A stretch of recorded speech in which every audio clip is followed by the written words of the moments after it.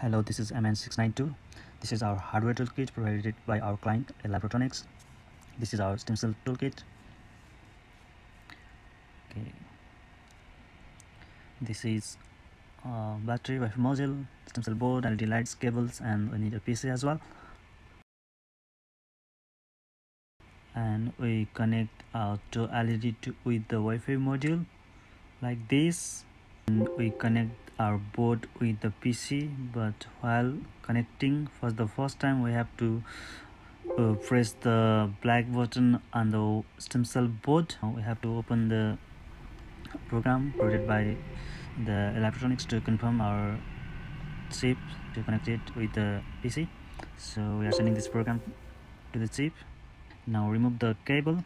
We have to plug in the Wi-Fi module in the STEMSEL board very carefully and we have to power the STEMSEL board either with the battery or with the cable. We have to connect it with the mobile hotspot.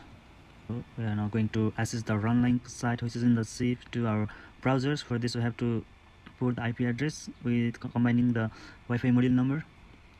Uh, here our module number is 158 that's why we are putting 192.168.137.158 slash control.html so here we get the runlinc in html and javascript we developed and assigning the port for the led lights.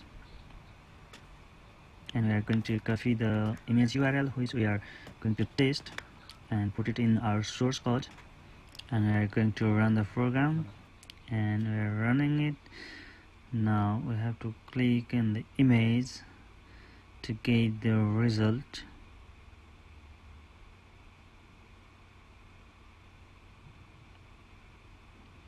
so it has detected the color code. And we are waiting now. The red light is on. As you see the means is infected